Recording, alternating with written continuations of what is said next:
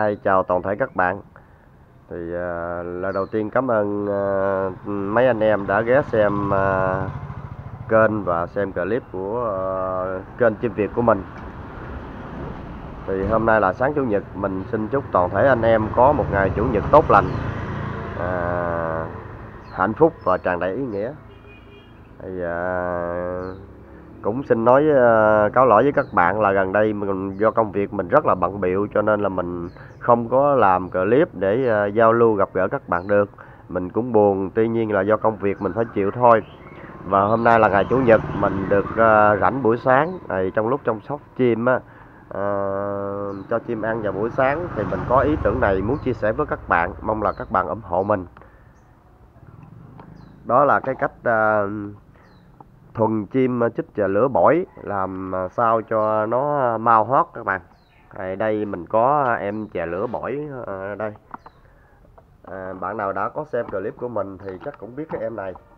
Em này là em chè lửa bội bổi mình bẫy được ở ngoài vườn. Thì à, hôm nay nữa là nó cũng được à, khoảng một tháng rồi các bạn khoảng 30 ngày hay là 31 ngày gì đó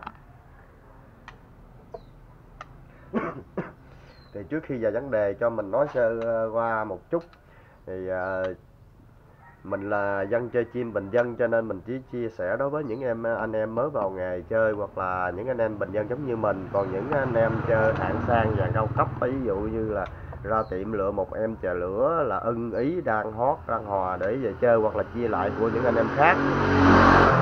Thì có thể cho qua hoặc là xem cho biết à, cho vui cũng được à, và mình nói trước đây là cách chia sẻ là cách của mình nha các bạn. Chứ ờ, thì mỗi ờ, cái lựa cái, cái nghệ thuật cho chim này mỗi anh em có một cái kiểu khác nhau có thể giống nhau và cũng có thể khác nhau nhưng mà quan trọng là cái hiệu quả của nó thôi. Thì à, coi như là một cái bài tham khảo để anh em có thể à, à, tham khảo và tận có thể là tận dụng trong cái à, lúc mình thường chim hay không à, mình xin phép đời đi vào vấn đề. Thì chim chích trời lửa là một trong những cái loài chim hót rất là hay và nó có ngoại hình rất là đẹp. À, nói chung là nó à, nó nó đáp ứng được vừa phần nghe và phần nhìn. Cho nên là được rất là nhiều anh em chơi chim là yêu thích và nuôi và chăm sóc. À, tuy nhiên để à, có được một em chè lửa mà đứng à, hót đánh đuôi sàn cầu á, thì không phải là chuyện dễ nha anh em. À, nói khó thì không khó nhưng nói dễ thì không dễ. À, đặc biệt là những anh em mua chim bổi hoặc là đi bẫy chim bổi về thì ở đây mình không nói cách lựa chim hoặc là ấy nha anh em. Tại vì mình à, chim mình bẫy về thì được con nào mình thường con đó. Còn à, mấy anh em đi à, mua ở ngoài tiệm á, thì có cái kỹ thuật lựa chim riêng. Cái phần này mình sẽ nói vào một clip khác hoặc là vào cám mình chỉ nói vào cách thuần thôi thì à, để à, góp ý với anh em thì à, nếu được thì anh em có thể làm theo và anh em có thể góp ý để mình rút kinh nghiệm thêm. À, mình thấy đặc biệt chú ý thứ nhất là chúng ta chú ý một số vấn đề sau. Thứ nhất là lòng nuôi. À, thứ hai là chế độ dinh dưỡng là thức ăn anh em. Thứ ba là chế độ nước nước uống và nước tắm. Và thứ tư là à, chế chế độ là nắng nước và nắng anh em. Chế độ phơi nắng á và cuối cùng là chế độ à, nói chung là tập à, tập luyện à, kích chim á. Nhưng mà phần này đối với lửa bổi thì mình à, nói cho qua thôi cho có thôi chứ thực tế là lửa bổi mình không cần kích đâu anh em. Kích từ từ thôi. Mình à, mục đích của mình là để cho chim mau hót nha anh em. Đầu tiên là nói về phần lòng.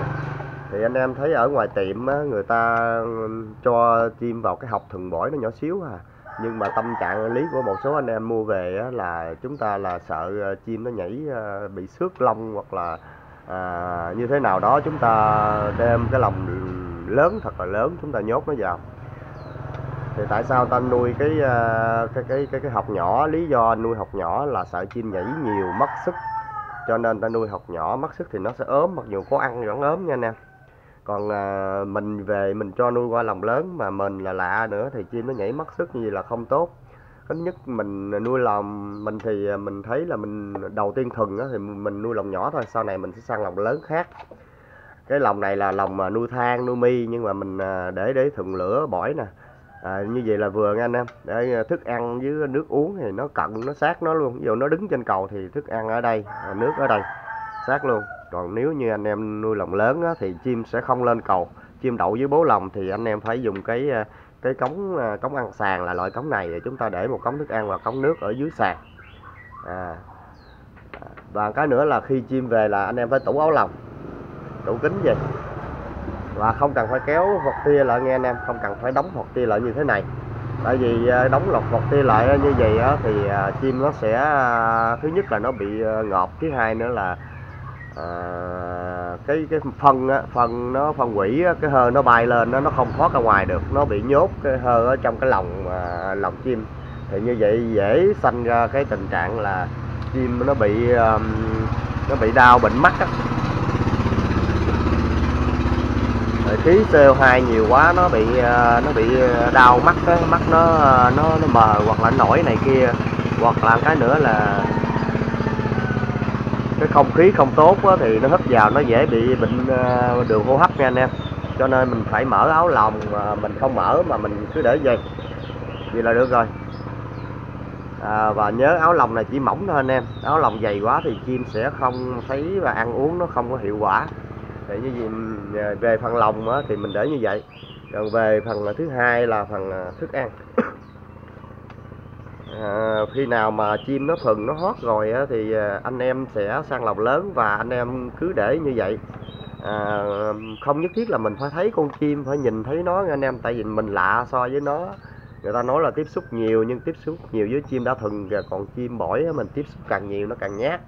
Mình chỉ tiếp xúc với nó trong những lúc là mình cho nó tắm hoặc là mình cho nó ăn thôi. Như vậy hiệu quả tại vì mỗi lần mình tiếp xúc với nó thì nó đều cảm nhận được cái lợi ích của nó còn đương không mình lợi gần nó hoài thì nó rất là sợ. Cho nên nhát thì chim sẽ không hót đâu. Vấn đề thứ hai là vấn đề về dinh dưỡng. Thì cái tâm lý chung của anh em mình á, là khi đưa chim về á là cứ ờ, phải ép cám đó.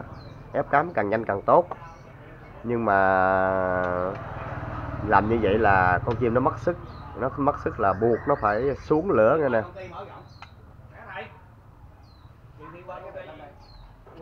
Nó xuống lửa thì nó sẽ nó, nó sẽ lâu hót nó phải giật lửa lại. À, một số anh em nói là chim phải bỏ một cái lông lông bổi và phải đợi nó thay lông ra như vậy. Rất lâu anh em anh em nuôi vậy cả năm đằng. Cho nên mình nuôi ở đây là mình sử dụng kể cả cái lông bổi của con chim mình bắt mới bắt về luôn. Mình sẽ trong vòng một tháng là hoặc là hơn nó sẽ hót. Tuy nhiên cũng tùy theo cái à, cái cái tố chất của từng em nữa chứ không phải nói em nào cũng vậy cho nên là anh em cứ trộn sâu dế hoặc cào cào gì đó và dưới cám mà cho nó ăn. Cứ cho nó ăn cám trộn. Cứ cho nó ăn cám trộn thôi và từ từ mình sẽ vào cám sau không sao hết. À, tại vì chè lửa là một trong những em thứ nhất là à, có nổi tiếng là mau thuần mau dạng và mau ăn cám. Cho nên mình vào cắm chậm một chút xíu nhưng mà con chim nó không mất sức. À, nó sẽ hót sớm thôi à, một hai chiều mưa nào đó nó sẽ chuyển và nó sẽ hót từ từ từ từ lớn lên để anh em mình được thưởng thức. Và áo lòng mình sẽ mở từ từ. À, phần áo lòng thì mình nói với anh em là khi nào mình nghe chim hót và dạng thì mình hãy mở chứ mình không nhất thiết là một ngày phải mở bao nhiêu hai ngày mở bao nhiêu như vậy á. Khi gặp con chim nó nhát á nhiều khi anh em để cả năm chờ nó vẫn nhát. Rồi cái tiếp theo là phần à, mình nói về nói chung là mình khuyên anh em là à, vào cắm từ từ đừng có vội đừng có vội cắt cám nó sớm quá. Rồi.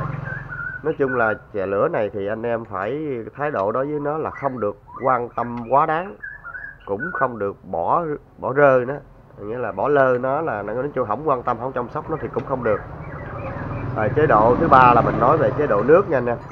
Nước thì à, đầu tiên mình nói nước uống. Nước uống thì à, anh em nên cho uống nước chai hay nước khoáng càng tốt. À, mình hạn chế cho nó uống nước ao nước sông. Tại vì như vậy nó có nhiều vi ờ, vi khuẩn ờ, nó dễ uh, sinh bệnh mà chim um, chim nhỏ xíu à. Nó sanh bệnh uh, là nó dễ bị uh, không không qua khỏi nha nè à, và cái nữa mình cũng xin nói là lòng thì mình nên đặt cái nơi nào đó là à, yên tĩnh. Một là mình đặt cao hơn đầu người cao hơn đầu người nơi thoáng mát yên tĩnh hai là mình cứ để hẳn xuống đất. Nếu mình để dưới đất nhà mình để xuống đất an toàn thì mình cứ để dưới đất nó còn mau dạng hơn treo nữa nha anh em. À, gần người đi qua lại cũng được hoặc là à, nếu đường lộ thì phải cách lộ khoảng vài mét chứ đừng có để sát lộ. Tại chim bổi mà để sát lộ nó hoảng là xe chạy ngang nó hoảng lắm. Ít nhất là cách lộ khoảng ba bốn mét nha anh em.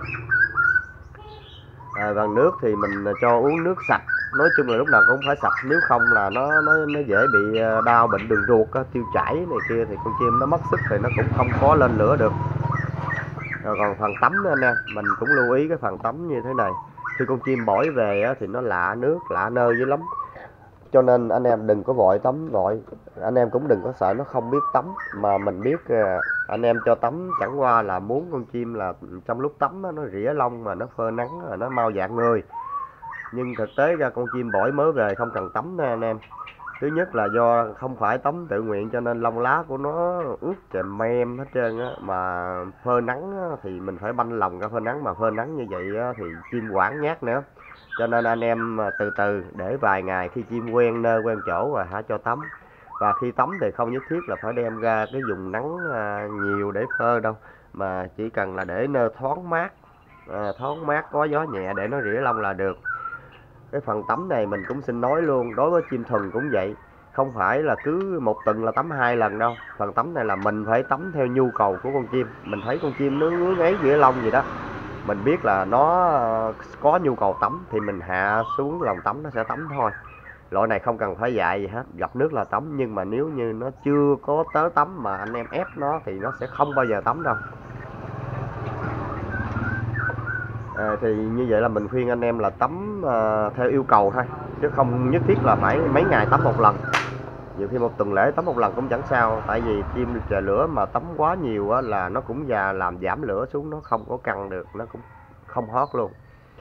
Rồi cái à, vấn đề thứ tư là mình nói vấn đề phơi nắng.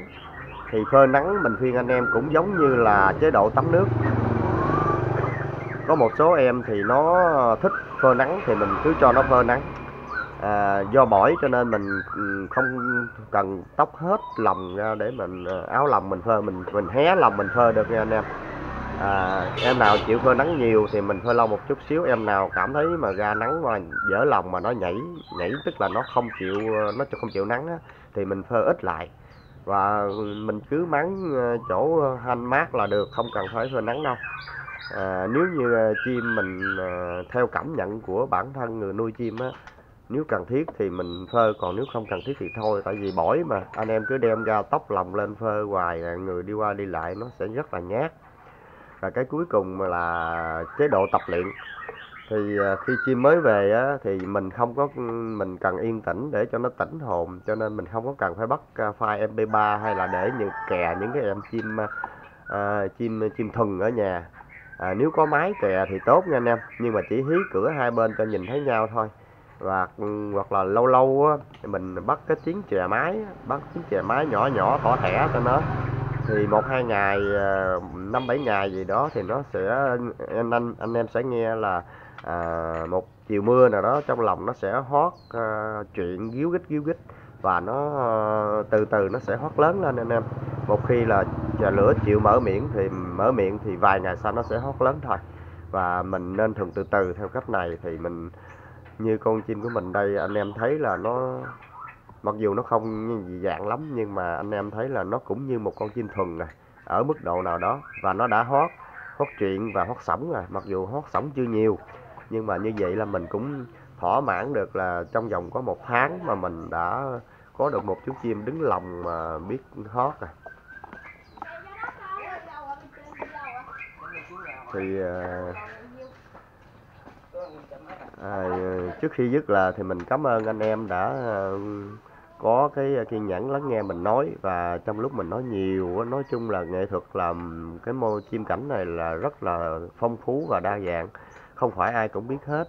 Thì còn những mình biết còn rất là nhiều thiếu sót. Mong rằng anh em chỉ giáo thêm góp ý để cho anh em mình ờ, uh, chơi chim có nhiều cái kinh nghiệm quý báu hơn và bây giờ mình treo em nó lên và mình đặt camera để cho nó hót cho anh em nghe nha. Để thôi anh em nói à, không thấy hót gì hết mà cứ nói quá trời. À, chào tạm biệt anh em và chúc toàn thể anh em một ngày tốt lành. Tạm biệt.